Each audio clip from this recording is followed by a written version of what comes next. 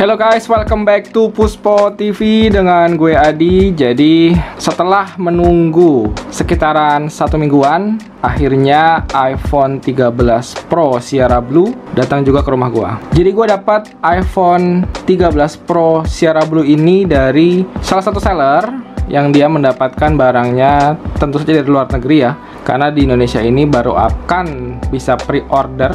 Infonya itu kisaran tanggal 12 November ya. Dan ini infonya gue mendapatkan barang dari region Hong Kong. Nah tapi seperti biasa sebelum kita lanjut unboxingnya mohon luangkan waktu kalian untuk support channel ini dengan cara like, share, dan subscribe serta nyalakan lonceng notifikasi biar kalian tidak ketinggalan update video terbaru dari channel Pospo TV oke kalau udah kita lanjut unboxingnya Oke, ini penampakan dari boxnya ya. Di depannya kalau untuk yang seri 13 ini adalah iPhone yang menghadap ke belakang ya. Jadi yang kelihatan itu adalah uh, sisi kameranya. Seperti biasa untuk seri 13 lanjutkan dari seri 12 kotaknya itu ramping ya.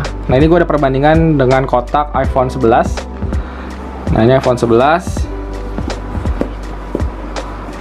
mungkin bisa tiga kali lipat ya besarnya ya. Jadi generasi iPhone 11 adalah generasi iPhone yang ketika kalian beli dalam boxnya itu sudah lengkap ada charger, ada headset gitu ya. Dan kalau di iPhone 13 mulai dari iPhone 12 itu sudah tidak ada lagi kepala charger ataupun headset ya. Nah kita unboxing kira-kira isinya apa aja ya.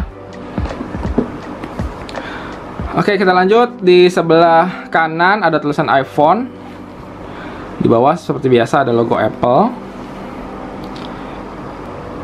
Di atas juga ada logo Apple ya. Nah, ini untuk sebelah kiri.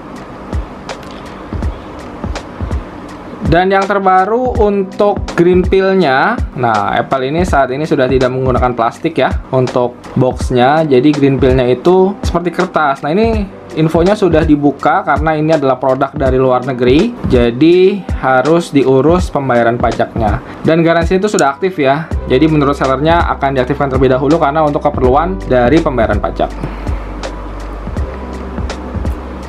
Nah ini green pill yang bawah ini green pill atas oke kita unboxing ya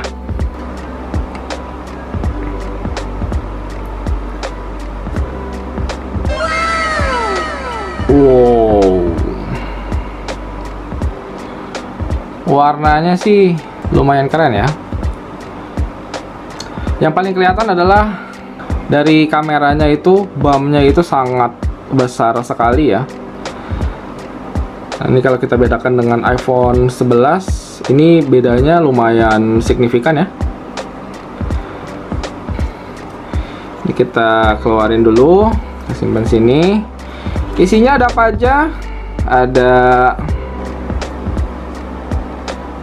ini kabel charger. Ini adalah Type C ke port Lightning ya. Nggak ngerti gua kenapa Apple nih udah tahun 2021 masih aja pakai port Lightning padahal ini kan udah jadul banget ya. Ya tapi mungkin itu adalah strategi bisnis Apple ya. Ini kita pinggirin dulu. Terus seperti biasa ada SIM ejector. Ini ada ya biasa kita kitab lah. Sama ada stiker Apple udah mahal tapi dikasih cuma satu ya ini kita pinggirin dulu dan kita klet uh. ini kita nyalain ya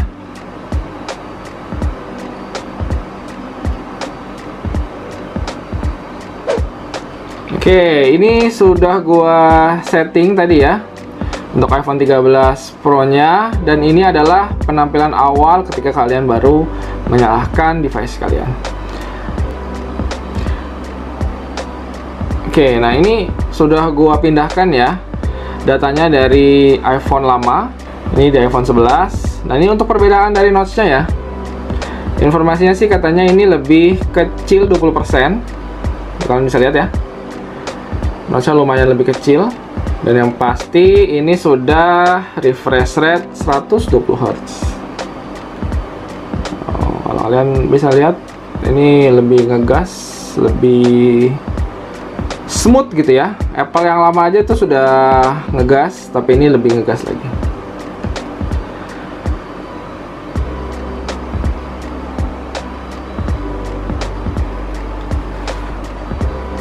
Oke okay guys, segitu dulu unboxing iPhone 13 Pro-nya. Kalau kalian tertarik ingin membeli iPhone ini, nanti gua sertakan link pembeliannya di kolom deskripsi di bawah. Oke, okay? terima kasih buat kalian sudah menonton video ini sampai habis. Jangan lupa like, share, dan subscribe, serta nyalakan lonceng notifikasi, biar kalian tidak ketinggalan update video terbaru dari channel Pospo TV. Gue Adi, see you on the next video.